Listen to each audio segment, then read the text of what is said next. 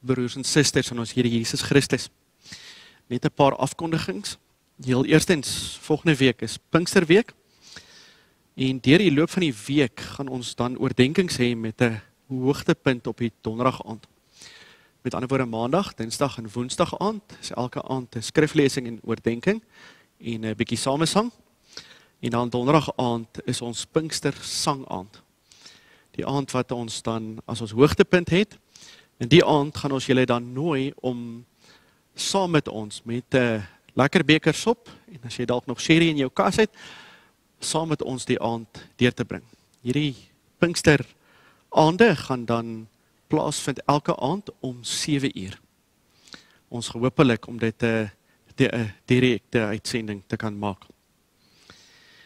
Dan ons nagmaal. En ek wil graag soos ons in ons fokus gesê het, ons gaan ietsie meer oor sê, wil ek graag die besluit soos wat dit geneem is deur die kerkraad aan julle aan julle lees. Dat die geskeduleerde nagmaal, nagmaalsdiens van die 31ste Mei voortgaan per uitsending en dat die klem gelê word op die gedenk maar dat die fisiese handeling van brood en wyn en eet en drink nie tydens die uitsaai diens bedien gaan word nie. So ons gaan daarvan ons gaan die nagmaal gaan ons saam Christus se dood en sy opstanding saam gedenk volgende week as dit die Here se wil is. daarmee saam wil as julle wys op ons kalender wys daar 'n 'n nagmaalsete en ons weet dit kan nie op hierdie stadium plaasvind nie.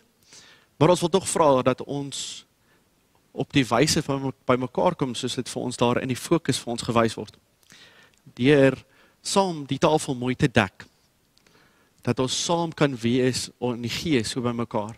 'n uh, Een skottel gereg te maak, dit af te neem julle af te neem daar wat julle langs die tafel sit, dalk vir ons 'n boodskapie te skryf en dit dan vir my te stuur op my WhatsApp nommer of die kerk se WhatsApp nommer of dit dalk my deur te stuur deur die Facebook bladsy.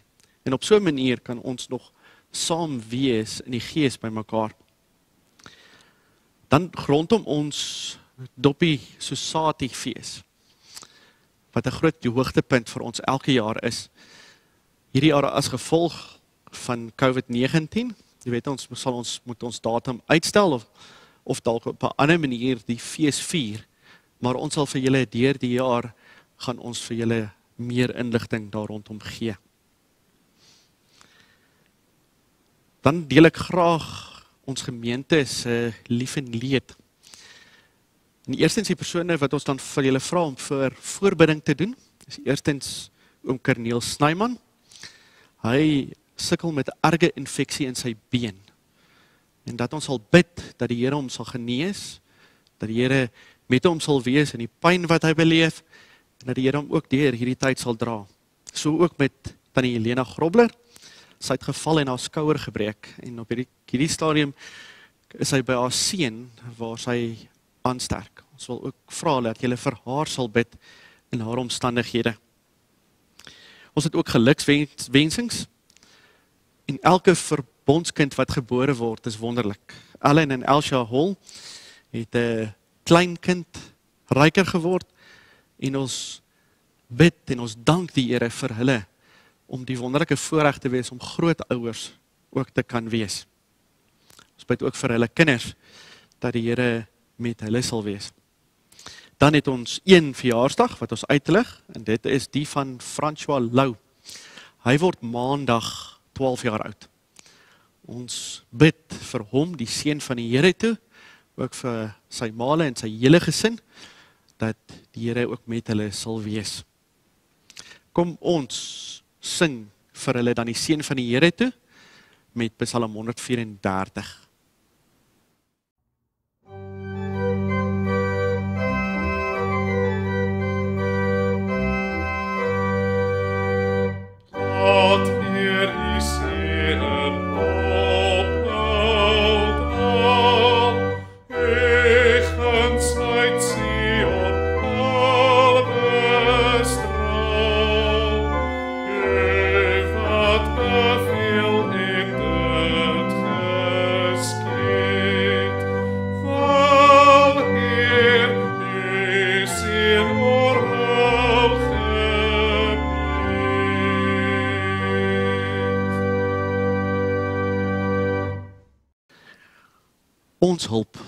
Van die Here wat die hemel en die aarde gemaak het en wat getrou sal bly tot in aller ewigheid.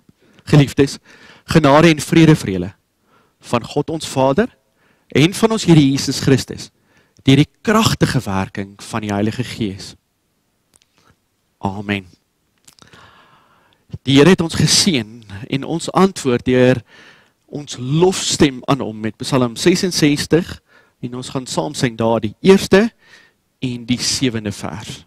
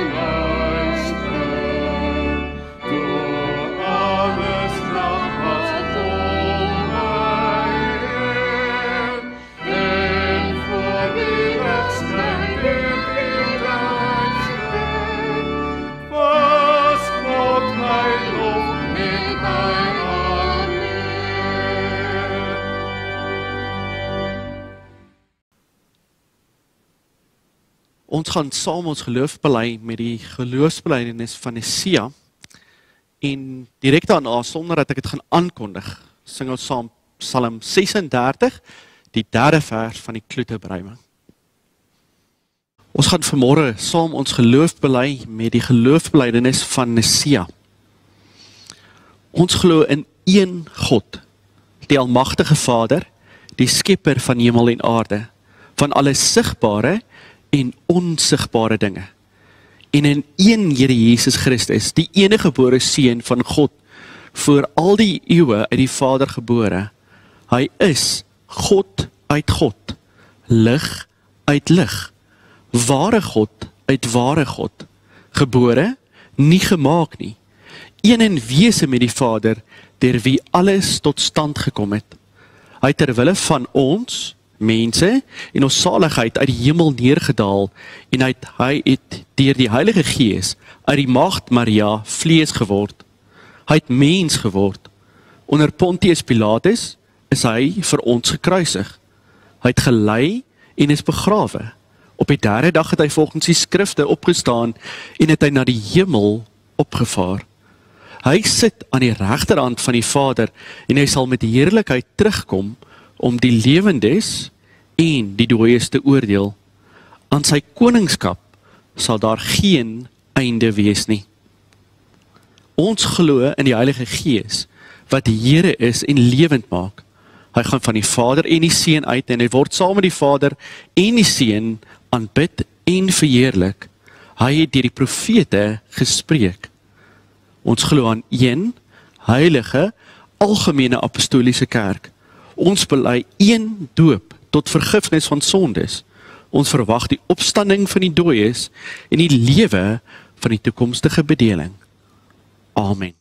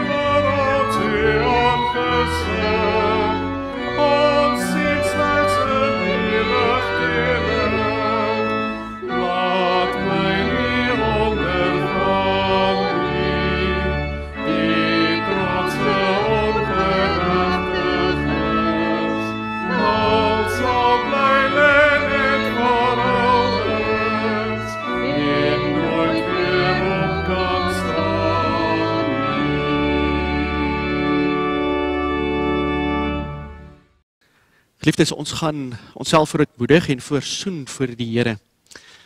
Deur die wet van die Here wat ons dan lees in Deuteronomium 5. En ek wil graag hê dat julle luister na die inleidingswoorde daarvan. Die eerste paar verse, die eerste 5 verse. Want dit leer ons hoe die Here vir ons die wet gegee het, leer ons uit dankbaarheid, uit liefde en veral om dat ons Here Jesus Christus vir ons gesterf het. So kom ons luister na die wet van die Here soos dit vir ons gegee is in Deuteronomium 5 en sonder dat ek kan weer aankondig, antwoord ons direk daarop met skrifverhouding 8:1 die eerste en die tweede vers. Moses het die hele volk bymekaar geroep en vir hulle gesê: Israeliete, luister na die voorskrifte en die bepalinge wat ek vandag hier in julle teenwoordigheid aankondig. Julle moet dit leer, dit gehoorsaam en daarvolgens lewe. Die Here ons God het by Horeb 'n verbond met ons gesluit. Dit is nie ons voorvaders met wie hy hierdie verbond gesluit het nie, maar ons, ons almal wat hier is en nou lewe. Ja, met julle persoonlik het die Here op die berg uit die vuur uitgepraat. Ek het destyds tussen die Here en julle gestaan om die gebod van die Here aan julle deur te gee, want julle was bang vir die vuur en julle het nie teen die berg uitgeklim nie. Die Here het gesê: Ek is die Here jou God wat jou uit Egipte uit die plek van slawerny bevry het. Jy mag naas my geen ander gode hê nie. Jy mag nie vir jou 'n beeld of enige afbeelding maak van wat in die hemel daarbo of op die aarde hieronder of in die water onder die aarde is nie. Jy mag hulle nie vereer of dien nie, want ek, die Here jou God, eis onverdeelde trou aan my. Ek reken kinders die sondes van hulle vaders toe, selfs tot in die derde en vierde geslag van die wat my haat. Maar ek betoon my liefde tot aan die duisendste geslag van die wat my liefhet en my gebooie gehoorsaam.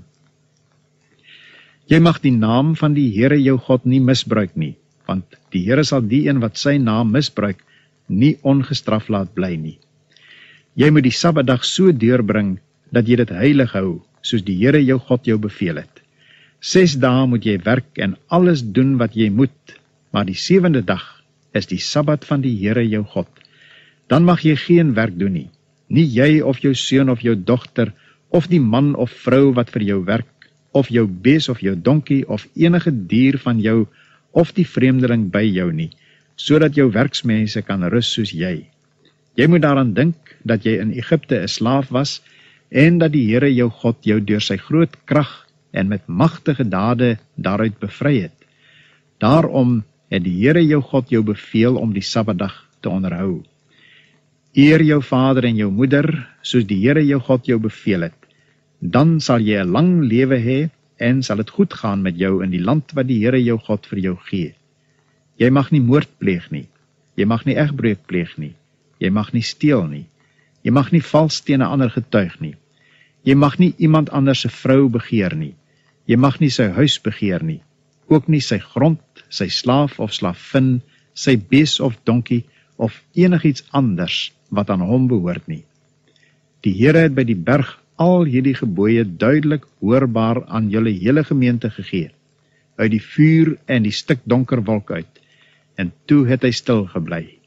Daarna het hy dit op twee plat klippe geskryf en dit vir my gegee.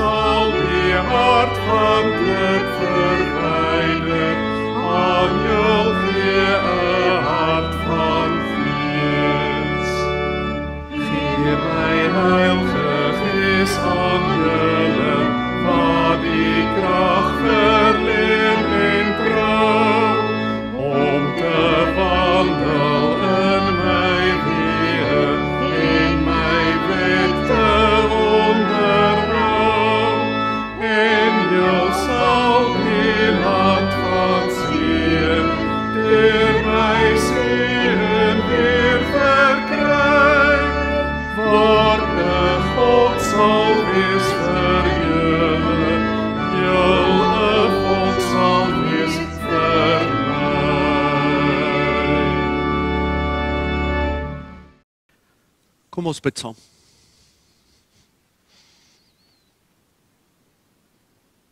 Ons almagtige God en ons hemelse Vader. As ons voor U kom staan en in die troonkamer instap. Here, weet ons ons kan dit doen met vrymoedigheid. Want die voorhang sal het geskeur en Jesus Christus het die skeiding wat tussen ons en U is weggevat. Maar ook kom doen ons dit met groot ontzag vir U heerlikheid, vir U almag. Vir U as ewige God wat onverganklik is. U is ewige God wat bo ons verstand is. Maar U is ook ewige God wat ewig goed is. En wat se goedheid nie gemeet kan word of beperk kan word deur menslike verstand nie. Here, dankie dat ons so kan nader op u skoot kan kom sit en u troos kan ontvang deur die woord wat u vir ons gegee het. Ja, wat 'n voorreg, Here, om dit te kan doen. En te weet u is by ons. Dat u belofte is, waar waar twee of meer is, daar is u. En Here dat u u self nie deur 'n internet en omstandighede laat beperk nie. Ja dat ons self by mekaar kan wees oor elektriese drade oor 'n wêreld heen. En dat u eenheid bring in ons Here Jesus Christus en dat u alomteenwoordig is by ons almal. Here waar ons in 'n erediens hierso saam is in 'n gesprek met u en u met ons met u kan praat met ons hart met al ons gevoelens, met al ons denke. Ja, elkeen wat nou saam bid, Here, weet U wat is hulle hart se begeertes? Wat is hulle pleit na U? Wat is hulle smeking na U? Maar U ken ook elkeen se bekering. Elkeen wat U op U hart druk deur die woord om weg te draai van sonde maar u ken elkeen so op die naam en so intiem dat u weet van die hare wat van ons kop afval dat u self weet wat ons gaan bid voordat ons dit gesê het. En daarom kan ons met so 'n gesindheid na u nader en weet Here u hoor. U luister en met alle goedheid antwoord u. Daarom kan ons ook met smeking na u toe kom.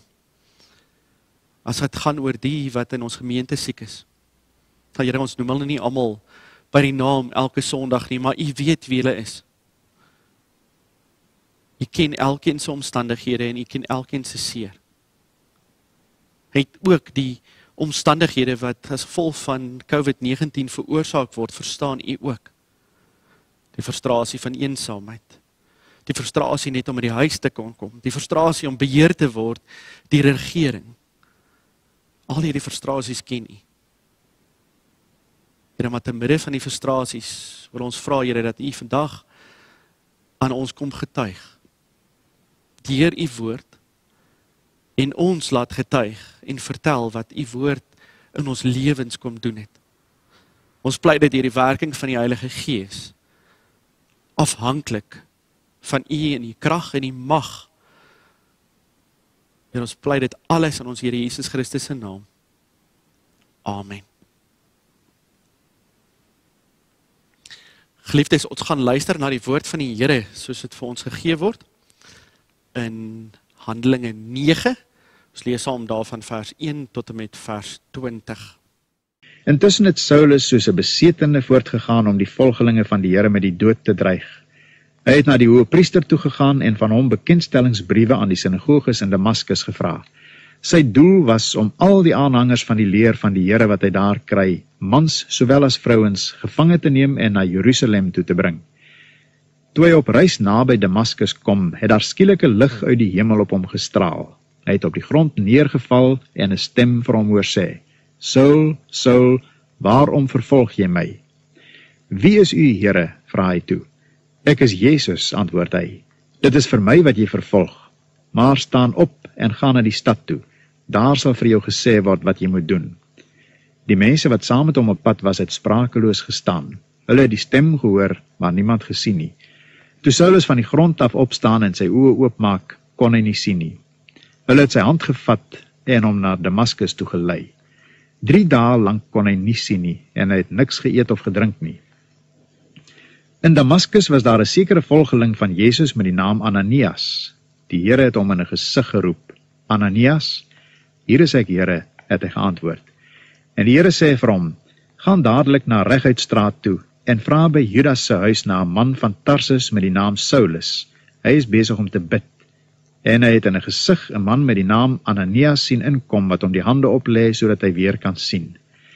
Maar Ananias sê: "Here, ek het al by baie mense van hierdie man gehoor en van al die kwaad wat hy die mense wat in U glo in Jerusalem aangedoen het. En nou is hy hier met vol mag van die priesterhoofde om almal gevange te neem wat U naam aanroep." Toe sê die Here vir hom: "Gaan daarheen, want ek het hom gekies as my werktuig om my naam uit te dra onder die heidene nasies." en hulle konings en ook onder Israel. Ek self sal vir hom wys hoeveel hy vir my na moet ly. Ananias het toe gegaan en in daardie huis gekom. Hy het Saulus die hande opgelê en gesê: "Saul, broer, die Here Jesus wat aan jou verskyn het toe jy op pad hierheen was, het my na jou toe gestuur sodat jy weer kan sien en met die Heilige Gees vervul kan word." Onmiddellik het daar iets so skille van Saulus se oë afgeval en kon hy weer sien. Toe het hy opgestaan en hy is gedoop en hy het geëet en sy kragte herwin. Saulus het 'n paar dae daar by die gelowiges in Damaskus gebly en dadelik in die sinagoges begin verkondig dat Jesus die seun van God is. Geliefdes in ons Here Jesus Christus. Met dank van die Here wat ons gespaar het hierdie tyd. Kom ons aan die einde van ons reeks wat gaan oor die verskyning van ons Here Jesus Christus na sy opstanding en veral wat die invloed daar was op die mense se lewe en hy wie verskyn het en ook dan op ons. En net om vir 'n oomblik julle terug te vat, ons het gekyk na die Romeinse soldate wat die almag kon sien en leen en geantwoord het. Ons het gekyk na Maria wat die Here by die naam geroep het en haar lewe verander het. Na Thomas wat 'n getuie word 'n ware getuie na die Here se gewys het sy hande en sy voete ook die Emmausgangers wat se oë oopgemaak is deur die woord wat die Here Jesus Christus vir hulle oopgebreek het en die invloed van hom hardloop om te gaan vertel. En dan is Stefanus wat die oop hemel gesien het. Wat Christus aan die regterhand gesien het, wat oorwinning gesien het en wat as 'n martelaar sterf. daarmee saam het ons ook in die visioen van Johannes gesien hoe dit hoop gee. Al is daar 'n stikkende wêreld, kry ons hoop in Christus wat tussen sy kerke beweeg en dit daar in beheer is. Soos ons oor al hierdie stories kyk, dan sien ons dit gaan oor die waarheid dat Christus waarlik opgestaan het. En dat Jesus Christus by sy gemeente is en deur sy Heilige Gees by sy gemeentes is en hulle help en dra. En as ek dan die woord stories gebruik is dit nie om afbreek te maak nie. Praat nie van 'n 'n sprokieboek storie nie. Praat van 'n ware verhaal. Dinge wat werklik gebeur het. So 'n storie is nie die doel om dit af te breek nie. Maar stories is dit wat ons onthou. Stories is dit wat in ons harte vassteek. Stories is dit wat in ons lewe verander. Dink maar aan toe jy op jou oupa se skoot gesit het en hy jou kon vertel van sy stories. Ek dink terug aan my oupa wat vertel het En dan wys hy na sy been waar aan die Tweede Wêreldoorlog geskiet is. En wat 'n indruk dit nog op my gemaak het dat my oupa in die Tweede Wêreldoorlog was. Nou dit is 'n ware feit. Dit het regtig gebeur. Maar die storie raak vas. Nou daarom is as ons kyk na die boek Handelinge, kan ons sê dit is die storie oor die kerk. Oor die kerk van Christus. Christus wat hoof is van sy kerk en wat deur die Heilige Gees in sy kerk werk. Ons gaan vandag kyk na die bekeringsstorie van Paulus. Ja, na die verskyning van Jesus Christus kom Paulus tot bekering. En net vir 'n oomblik om verwarring uit te haal. Ons gedagtes is altyd dat Saulus word Paulus en dat sy naam daar verander is na sy bekering. En dis nie waar nie. Saulus is sy Hebreëse naam en Paulus is sy Griekse naam. Omdat hierdie in 'n Hebreëse konteks geskryf word as 'n persoon wat uit Hebreëus uit die Hebreëse gemeenskap uit die Jode uit opgetree word, word die naam Saulus gebeur. Right. Dwarsteer werk hy tussen die heidene, tussen die Grieke. En dan word die naam Paulus gebruik. So dis nie 'n naamsverandering wat plaasvind nie. So as ek hulle afwisselend gebruik, dis dit Saulus en Paulus moenie verward raak dat dit 'n oorgang van name is nie. Dis dieselfde persoon, net sy naam in Grieks en in Hebreëus. Om te kyk na sy bekeringsstorie gaan ons tema wees dan vanmôre die kerk van Christus vertel stories van bekering. En om hierdie tema te belig, gaan ons kyk na bekeringsstories gaan oor God. Tweedens gaan ons kyk na bekeringsstories is roepingsstories. En laastens, bekeringsstories is gemeente stories. Ja, bekeringsstories gaan oor God. As ons gaan kyk na hierdie verhaal van Saulus. Ja, ons ontdek vir Saulus heel eerste as die man wat by Stefanus gestaan het by sy steniging. Hulle die klere in die bootleed of die hulle by sy voete neer gaan sit. Wat gesê het met ander woorde, hy is die ene wat verantwoordelik is vir Stefanus se dood.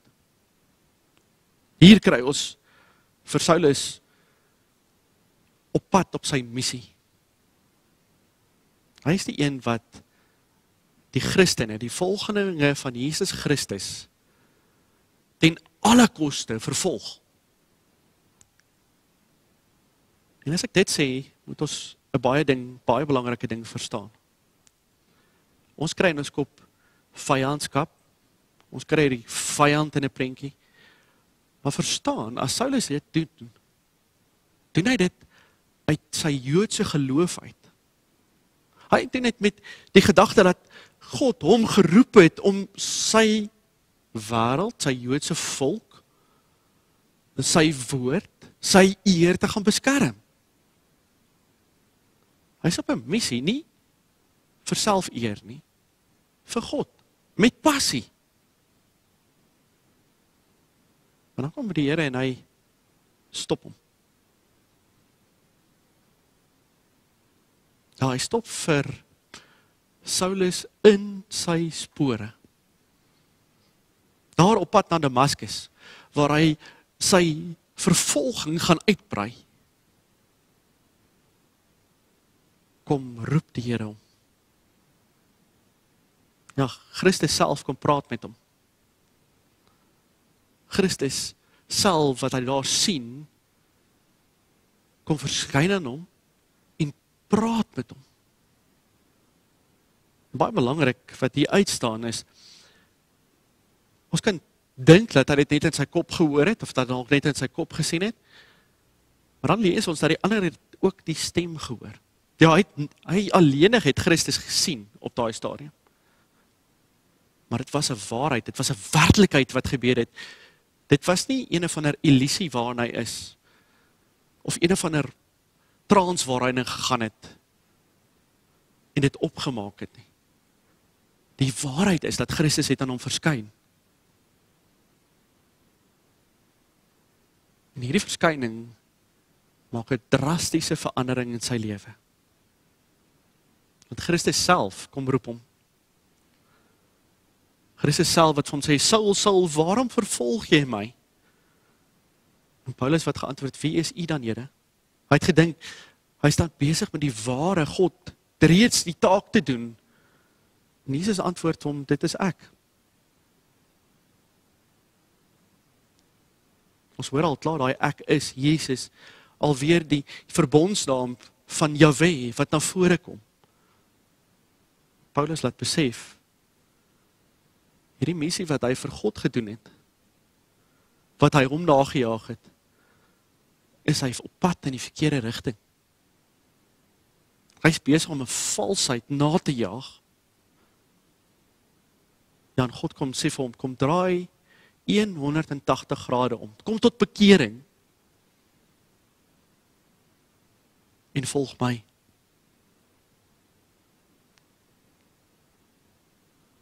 As ons kyk na hierdie bekeringsverhaal, kan ons nie anders as om te sien dat 'n bekeringsstorie gaan oor God. As ek die woord bekeringsstorie gebruik, kan ons ook die woord getuienis gebruik. Maar ons weet partykeer is ons as gereformeerdes daaroor ongemaklik. Wens dalk baie goeie redes omdat mense dit misbruik en verkeerd gebruik. Maar hierdie bekeringsstorie nie 'n mens as fokus nie. Hierdie bekeringsstorie wat ons in Handelinge 9 lê het God as fokus. Paulus is op sy missie as mens en besig met vervolging en moord. En God kom gryp in. Nee, dis nie 'n Paulus wat kom omdraai en sê God bring my tot bekering nie. Dis nie deur 'n keuse van hom gewees nie. God het hom kom omdraai in sy spore. Dit was God se werk.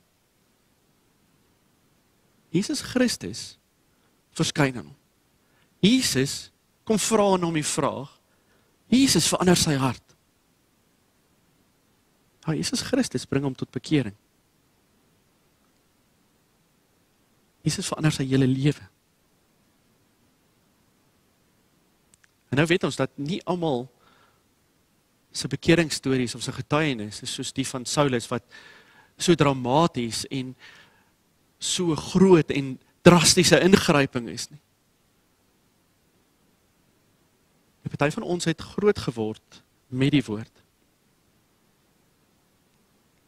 En tog het ons ook 'n bekeringsstorie. Ons het 'n bekeringsstorie wat ons kan getuig van die verbond van God. En as ek praat van die verbond, dan moet ek jou onmiddellik terugryk na Abraham toe. Waar God gesê het ek sê jou God wees jy met my volk wees. En as ons dit hoor, moet ons besef ons kon nie volk wees nie. Abraham kon dit nie doen nie. Ons kon dit sien in Israel se geskiedenis. Daarom het Christus kom sterf. So in die verbond met wat hy met ons gesluit het deur Abraham, is dit God wat werk en God wat werk. En as ek in hierdie verbond gebore word, met ander woorde as ek gebore word met gelowige ouers, is dit deur God se hand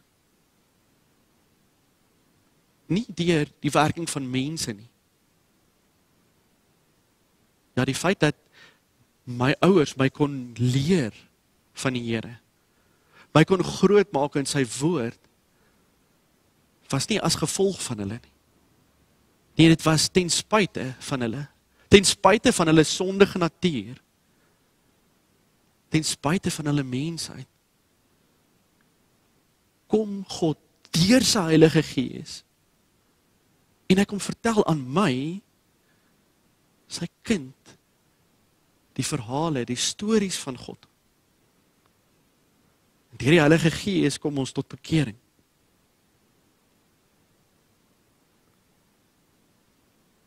Ja, elkeen van ons het bekeringsstories. Elkeen van ons kan vertel van hoe God ons gered het wat dit sou kom ons in die Ou Testament kan lees van God as hy hom openbaar as die God van Abraham, Isak en Jakob. Hy kan hom so openbaar want aan die persoon wie hy hom openbaar het, het sy ouers het vertel en het die stories om die kampvuure vertel van Abraham, Isak en Jakob. Ja, daarom as Timoteus praat van sy bekeringsstorie en Paulus skryf vir hom daaroor, dan vertel hulle van sy ouma en sy ma wat hom groot gemaak het in die wil van die Here, in die verbond. Na die eer van ons geloof. Die eer van ons verlossing. Die eer van ons bekering. Dis nie omdat ek die middelpunt daarvan is nie. Maar omdat God is. Omdat God my tot bekering gebring het. En ons kan selfs in ons daaglikse bekering ook daarvan getuig. Ja, die Here kom deur sy woord en deur sy Heilige Gees kom oortuig my om my lewe te verander na sy wil. Hy roep my tot daaglikse bekering van my sondes.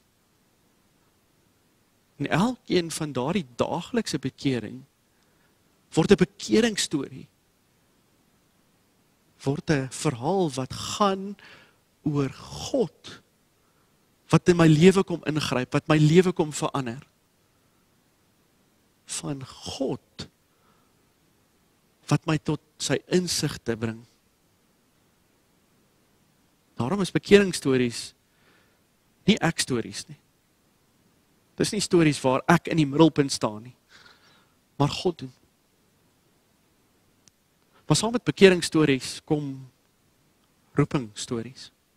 Want as die Here ons tot bekering bring, het hy vir jou taak. En gaan kyk spesifiek in hierdie geval van Saulus. sien hom heel eerstens dat hy opstaan blind. Hy het die heerlikheid van die Here gesien. Hy het sy almag gesien. En die Here maak hom blind. En vir 3 dae eet hy niks. Ons kan as te ware sê vir 3 dae vas hy. En dit moet wees min of meer so net so klein stukkie voor Damaskus. Moes dit plaasgevind het want hulle lei hom blind die stad in. En ewe skielik is hierdie groote man Saulus met 'n missie afhanklik. Afhanklik van die mense wat hom moet lei. Afhanklik van 'n herberg van mense wat hy nie ken nie wat hy moet gaan inbly, die van Judas. Hy is afhanklik van God. Hy hierdie blindheid en hierdie nie eet wys op twee dinge. Die heel eerste sy blindheid is dat Christus het in sy lewe kom oorwin. Soos ons reeds gesê het, Christus bring hom tot bekering. Hy kom behaal die oorwinning in sy lewe. In sy 3 dae van nie eet nie word 'n vas tot 'n voorbereiding van 'n taak. 'n Taak wat hy moet gaan doen. Ananias word gesê hy word geroep Hy word geroep om aan die heidene te gaan bedien. Om aan die heidene te gaan vertel van die goeie nuus van Jesus Christus. En dit is die taak wat hy gegee word. Sy taak is om met hierdie drie sendingreise soos dit ons verdere handelinge te sien. God se koninkryk uit te brei, kerke te gaan plant Maar dan word dit gesê dit word gaan sal gepaard gaan met lyding. Ja, hy sal ly vir ons Here Jesus Christus. Ja, hy word uit stede uitgegooi, hy word amper dood gegooi met klippe. Hy word in tronke gegooi, hy word gegeesel. Hoeveel kere lees ons nie van sy seer, van sy lyding nie? Maar hy word die instrument waardeur God sy kerk uitbrei. Hy word die volgeling van Christus en word opgeroep om sy taak te kan doen. Maar 'n roeping gaan ook saam met bemagtiging. En hierdie is die belangrikste wat ons hier moet hoor. As ons praat van bemagtiging, is dit bemagtiging deur die Heilige Gees. Want toe hy Ananias by hom kom, sê dat gepraat word van dat hy Sy oë oop gegaan, hy's gedoop en hy ontvang die Heilige Gees. Hy kry 'n taak, maar hy kry ook bemagtiging. Die Here kom vat al sy skrifgeleerde kennis, al sy kennis van die Ou Testament, al sy opleiding en met die werking van die Heilige Gees word hy kerkplanter. Word hy die een wat die goeie nuus aan die heidene gaan bring.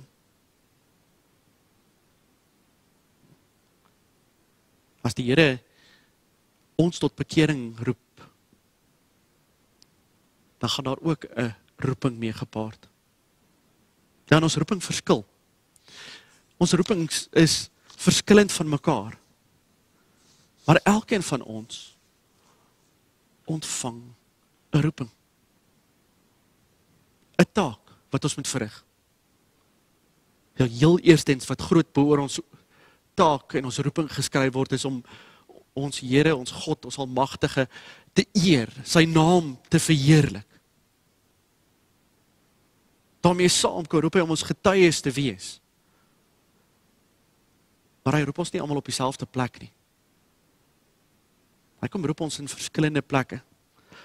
Soos Paulus moet werk onder heidene en Petrus onder die Jode, so word ons op verskillende plekke geroep om 'n getuie te wees vir ons Here Jesus Christus. Van ons doen dit by skole. Van ons doen dit by ons werke. Van ons is in die publieke sektor waar ons met mense werk. Van ons is in die privaat sektor. Ja, verskillende plekke. Oral word ons geroep om getuie te wees. Met die troos en soos dit ons weet wat ons hierdie week saam gaan vier met die Heilige Gees. Die Heilige Gees wat ons in staat stel om dit te doen. Want onmiddellik as ons hierdie taak hoor van roeping van getuie wees kom daar onsekerheid in ons hart. Ons wil soos Moses dan 'n klomp verskonings maak van ek kan nie goed praat nie. Ek is nie reg daarvoor nie. Ek is nie opgelei hiervoor nie. Maar die werklikheid is waar die Here jou plaas, stel hy jou in staat om getuie te wees. Om met dit wat jy doen, wat jy sê, met jou hele lewe 'n getuie te wees. Ja, en dit sal uniek wees tot elkeen van ons in ons eie plekke. Met die wete dat dit gebeur deur die Heilige Gees. En hoe wonderlik is dit om hierdie verhale oor te kan vertel. Te kan vertel die Here het my gebruik. Die Here het my gebruik in verskillende situasies om sy woord te vertel om mense te troos, om mense by te staan, om uit liefde uit na ons naaste te kan optree. Want hierdie stories wat ons oorvertel waar ons getuig het en waar die Here gewerk het bring nie net hoop in ons eie hart nie maar ook in die van ons naaste aan die wat ons vertel dit gee hulle moed om die roeping wat hulle het te gaan uitleef Daarom is bekeringsstories met 'n roeping baie belangrik om oor te vertel. Want dit bring ons by ons laaste gedagte dat die bekeringsstories is ons gemeente se stories. Geliefdes, as 'n persoon tot bekering kom, het hy 'n gemeenskap nodig. En dit is die eerste ding wat ons by Paulus sien. Hy word na sy bekering in 'n geloofsgemeenskap ingetrek. Heel eers kry Ananias die opdrag. Die Ananias self 'n geleerde man om met Paulus te gaan werk, vir hom te gaan bid. Hy moet gaan gemeenskap vir hom wees. Hy moet liefde aan hom gaan betoon. Al was Ananias self bang dat hierdie dalk 'n stryk was waaraan hy gelyk kan word. Paulus was immers die man wat gelowig is, volgelinge vervolg het. Omdat hy op God vertrou het, omdat hy op die Here se woord vertrou het, is hy gehoorsaam. Uit sy gehoorsaamheid is sy gemeenskap vir Saulus wat hier is. Daarom die heel eerste as hy hom aanspreek, sê hy vir hom Saulus, my broer. Hy spreek hom aan as sy broer. As reeds deel van die gemeenskap van die heiliges. Nie as 'n buitestander wat tot geloof gekom het en homself moet bewys om deel te word van 'n gemeenskap nie. Nee, hy spreek hom aan as broer. Een wat reeds deel is. Een wat reeds deel het omdat hy deel het aan Christus se verlossing wat vir ons gesterf het aan 'n kruis. Wat die dood se prys betaal het wat vir ons verlossing gebring het van al die gevolge van ons sondes van die straf van die sondes hy word deel van die gemeenskap van gelowiges dan nadat sy skille van sy oë afgeval het word hy fisies versterk jy kan dink na 3 dae se vas het jy kos nodig as jou liggaam swak En die geloofsgemeenskap wat hom ook fisies versorg, dan hom kos gee. As geloofsgemeenskap word hy ingetrek. Ja. Saulus se bekeringsstorie word 'n gemeente storie. Sit net vir 'n oomblik en dink hoeveel hoop bring God in sy kerk op hierdie stadium met die man wat sy kerk vervolg wat hy omdraai en die grootste getuienis vir hom word. Dink hoe hierdie verhaal, hierdie getuienis hoop bring. Hoop onder 'n gelowiges wat op hierdie stadium vrees vir hulle lewe. Hulle moet besef uit hierdie verhaal uit dat God is in beheer. Maak nie saak wat die mense doen nie. Wat jy wat saak wat mense dink hulle missie is nie. God kan hulle harte verander. God kan in hulle in hulle lewens verander. Dit dit bring vir ons hoop. Bring hoop dat ek kan weet dat daardie persoon by die werk wat ons sien wat teen die wil van die Here handel, wat sy naam misbruik, wat uitgesproke teen sy naaste seermaak. Met daardie geliefde familielid wat sy hart teen die Here gedraai het. Ons kan weet uit Paulus se bekeringsstorie dat die Here hulle harte ook kan verander dat die Here hulle lewens kan omdraai en hulle kan gebruik as 'n getuienis. Hulle hele lewe kan verander. Daar's soveel bekeringsstories wat onder ons is wat ons kan vertel van hoe God in beheer is. Hoe God se storie vertel moet word. En daarom is dit ook ons taak om as die Here in ons midde 'n bekeerling inbring. Hierdie persone met liefde te ontvou. Ja, om hulle storie ons storie te maak.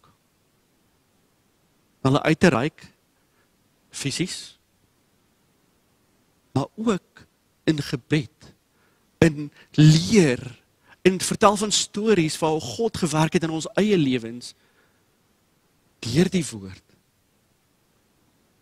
En dit is ons taak om dit aan ons broers en susters wat die Here by ons byvoeg te gaan doen. As hulle deur ons deure van ons kerk stap om hulle met warmte deel te maak van ons gemeenskap. Want die Here het hulle tot hier gebring. Het sy deur 'n mens of 'n persoon of deur die wonder wat God self doen. Dan hierdie bekeringsstories. Wat die Here vir ons vra. Ook om oor te vertel aan ons kinders. Hulle is immers ook bekeerlinge. Ja, hulle word deur die werking van die Heilige Gees, deur die instrument van 'n pa en ma word hulle groot in die woord, in die woord. Word hulle groot deur die werking van die Heilige Gees wat deur die Bybel werk. En is ons taak as kerk. Ons sê dit immer saam as ons by voor 'n doopfonds staan en sê as ons ge, saam getuie is van 'n kind wat en 'n baba wat gedoop word en sê soos die water om skoon was, so het Christus hom gewas. So het Christus my gewas. En as getuie daarvan word ek ook verantwoordelik saam met die ouer om hierdie stories van God, die verhale van God, die woord van God aan hulle oor te vertel. aan hulle oor te dra. En hulle met liefde te omvou. So daarom laastens. Ons sit vandag almal by ons huise met 'n diep diep verlange om weer as gemeenskap by mekaar te wees. Maar ek wil 'n ernstige vraag daaroor vra. Wat is die rede vir jou verlange vanaand? Wat is die rede hoekom jy verlang om terug kerk toe te gaan? Is dit om stories oor mense te gaan vertel? Net sy positief of negatief? Opbouend of afbreekend? Of is jou verlange om stories van God te kom deel? Waar God in die middelpunt is. Want die Here roep ons op om sy stories te vertel. Wanneer ons ons sy stories vertel, kom voeg die Here bekeerlinge tot ons gemeente. Deurdat ons sy stories vertel, word ons kinders verbondskinders in hierdie liefde groot. As ons ons eie stories en ons eie mense stories vertel, het dit die teenoorgestelde invloed. Dit dryf ons kinders weg. Ja, dit maak hulle seer as hulle met mense stories hoor. Mense stories wat afbreekend is. Hulle dryf hulle weg van God af as hulle moet sien hoe mense mekaar seermaak in die kerk. Ja, dit dryf die ons eerste bekeerlinge weg. As hulle in 'n gemeenskap moet instap waar mekaar vernietig word. Ja, die Here se roeping aan ons as kerk is om God se stories te vertel. Sy bekeringsstories. Want sy belofte is dit trek. Dit hou.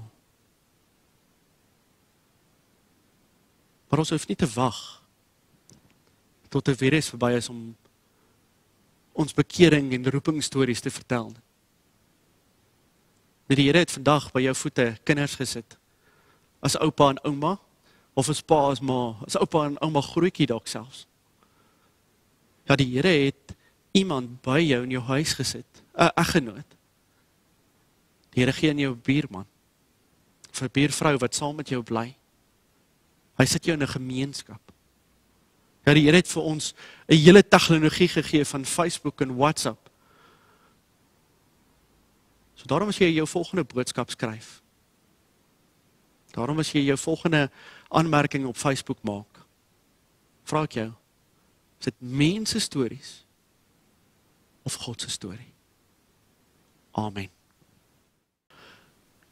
Geliefdes, as antwoord op die Here se prediking as hy met ons deur sy woord gepraat het, Kom ons antwoord met Psalm 40 vers 5 van die Tosius bereiming.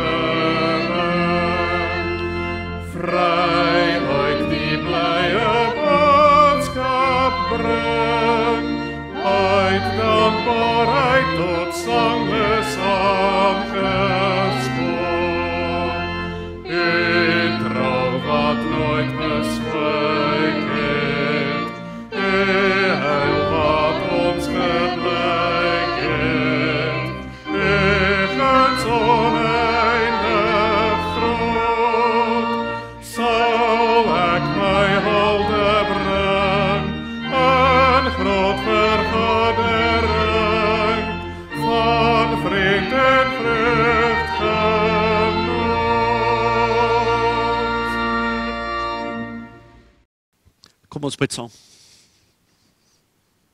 Here ons dankie dat ons 'n woord het vol stories. En Here, u ken en weet as ek praat van stories, is dit nie oor dit nie waar is nie, maar as ware verhale wat in ons lewe werklik wat werklik plaasgevind het. Here, dankie dat dit 'n getuienis is wat oorvloedig is van u. Ons pleit is Here, u roep ons om getuies te wees. Bemagtig ons deur die Heilige Gees daar waar ons is, daar waar ons werk, daar waar ons lewe, daar waar ons speel. Elke dag van ons lewe, elke oomblik. Want die Here ons weet as ons lippe vol van U is en ons vertel van Jesus, ons gedagtes vol van U. En U vra ons om ons gedagtes op U te rig. Help ons om dit te doen deur die werking van die Heilige Gees. Ons is totaal afhanklik van U. Maar dankie Here dat ons dit ook weet dit 'n werklikheid is. Ons dink aan soveel verhale wat in ons gemeente bekeringsverhale wat U laat plaasvind het. Here ons dankie dat U ook met ons elkeen persoonlike pad stap en dat ons op U pad kan wees. Ons pleit ook waar ons teen U skuldig staan waar ons deur die woord raak gesny word om ons lewe te verander. Here dat ons sal bekeer. 'n Daaglikse bekering tot U. Bly dit in ons Here Jesus Christus se naam. Amen. Geliefdes, daar's nou geleentheid vir ons liefdegawes. Julle sal dit wat nou op die skerms verskyn, die snapscan wat nou daar is, dit gaan vir ons diakonie. Ehm um, en die wat ook die fokus ontvang, Julle sal ook daar sien is die diakoniese bankbesonderhede. As julle julle bydraes wil inbetaal, die kerkkas of die kerk se bankbesonderhede ook is ook verskyn ook en ons fokus of as julle daarvan onseker is, asseblief stuur vir my 'n WhatsApp of 'n 'n boodskap op Facebook, dan kan ek daai inligting ook vir julle deurstuur. En dan net laastens ons diere kollekte, dit wat saam met ons na die einde saam met die orgelspel wat ons so met dank van Leon ontvang getrou elke week daar die snap scan soos julle daar sal sien gaan vir die deure gaan vir die emeritaatsfonds. Ons sing ten slotte saam Psalm 118 die 4de en die 5de vers van die Kloete Breiming.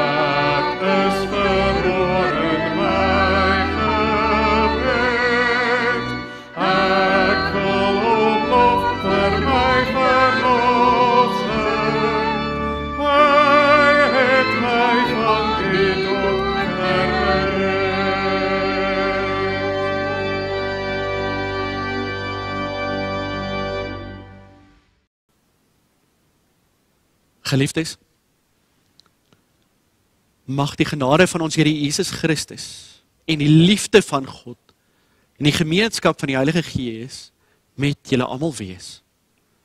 Amen.